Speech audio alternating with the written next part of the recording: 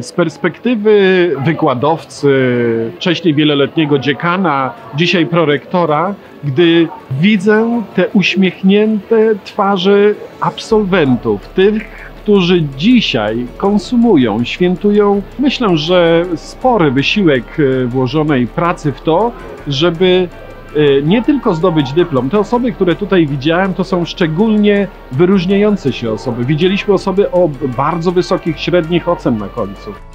Dla mnie jako studenta gala to jest takie wydarzenie, na, na którym trzeba być, ponieważ jest to takie uwiecznienie całego toku studiów. To znaczy przez te 5 lat, które tutaj spędziłem, uważam, że jest to taki finał tego, e, co tu się działo. Sama uczelnia dała mi bardzo dużo, bardzo dużo możliwości i uważam, że pojawienie się tutaj i prowadzenie w ogóle tego wydarzenia było świetną okazją do tego, aby podziękować za wszystko, czego doświadczyłem podczas studiowania.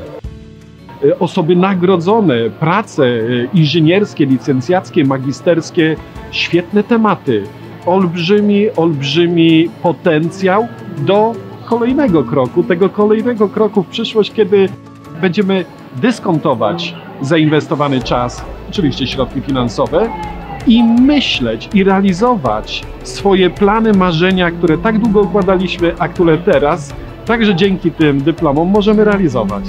Gratuluję serdecznie wszystkim absolwentom, wszystkim nagrodzonym również gratuluję, ponieważ wiele, wiele osób otrzymało nagrody za bardzo, bardzo ciekawe i prace dyplomowe, i osiągnięcia, i budowanie społeczności akademickiej. Także z mojej strony serdeczne gratulacje dla wszystkich.